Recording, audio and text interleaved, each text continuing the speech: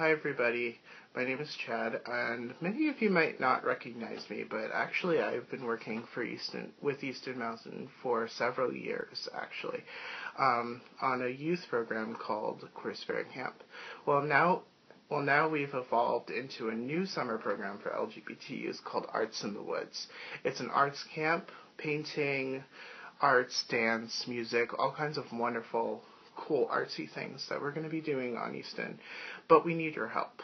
Um, we we we need donations. We need caring, you know, caring sponsors to help make this program a viable option, and we can't do it without you.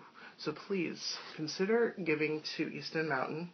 Donate five dollars, donate fifty dollars, donate five grand, uh, um, and really, you, your donations really help us keep Easton alive. Now, our